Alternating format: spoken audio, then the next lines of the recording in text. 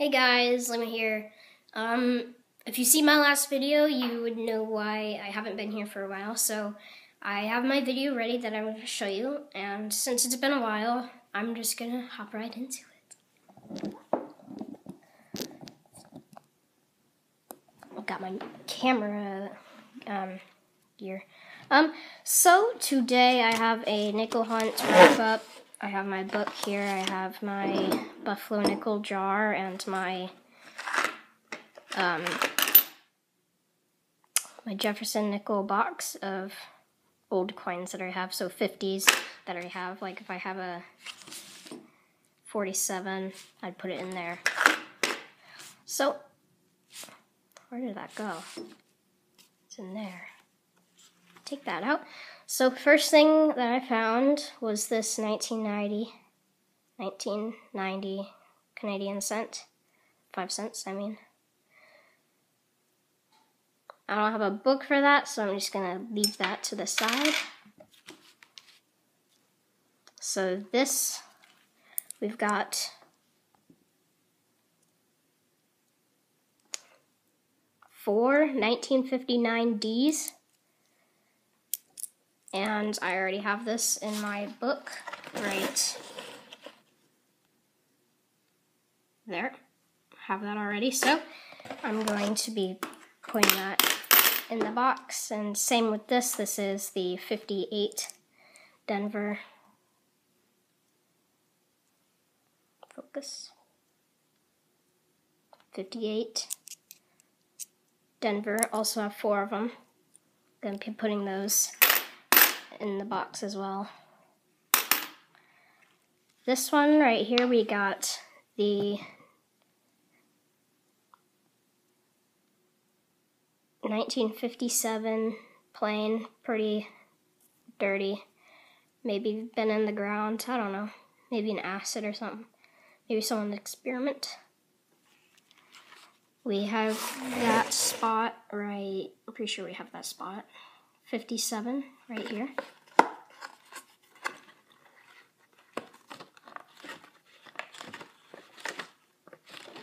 Perfect.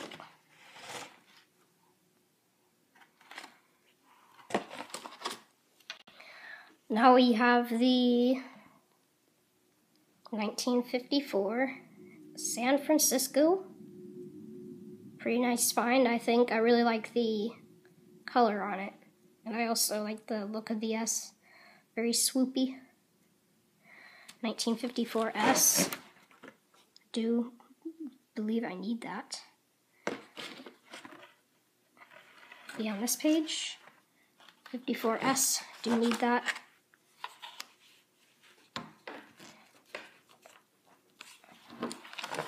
We have that in the book. next two items we have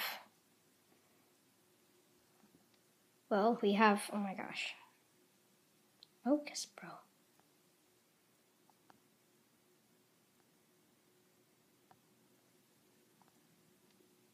Alright, I guess I'm just gonna have to read it because it doesn't want to focus. I have the 1953 Denver. We have two of them, so automatically one's gonna go in there. You wanna focus yet? 1953 Denver. We got that. Um, we do not have that in the book. 1953 Denver, 59 million, 29 million.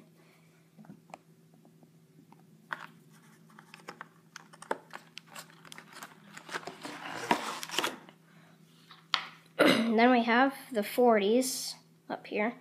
We got 1943 really nice toning, 43p really common, so I already have this one, but I really love the toning. And I've decided that with this, I'm going to put it in the jar along with the Buffalo Nickels and V Nickels. Um, there's one V Nickel in there somewhere, I just have to find it.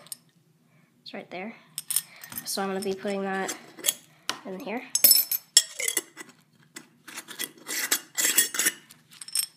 It's home now. Now we have the 1947 plain. And We already have that in our book right here. So that's going to be going in the box. And these last two, these are my favorites. The 1940 D and S. These were really exciting when I found them.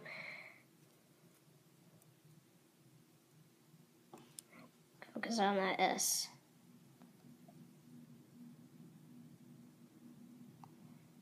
It's really hard to see, but that is an S. Um, and I don't have any of the 40s, so I'm going to be putting those in. And 40 is actually the most common, and I got the two more rare ones, which is really exciting. So this is the 40S, so this one's going right here.